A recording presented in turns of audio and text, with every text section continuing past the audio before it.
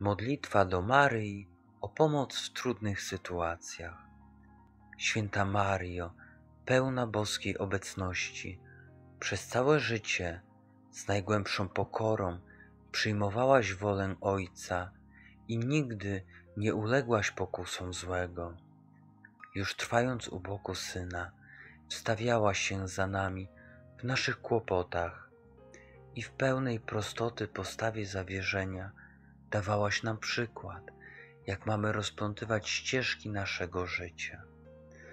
Od kiedy zostałaś naszą matką, zawsze już przywracasz ład i przepełniasz światłem naszą więź z Panem. Święta Mario, Matko Boga i Matko nasza, Ty z matczyną czułością rozwiązujesz węzły, które mnie krępują. Oddaję się w Twoje ręce i proszę, byś uwolniła mnie od jakichkolwiek przywiązań i pokus, którymi nęka mnie wróg.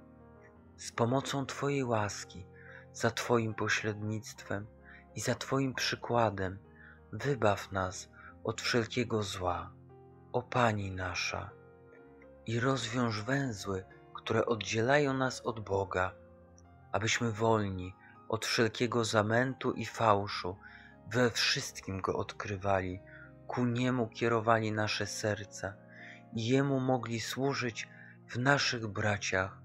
Amen.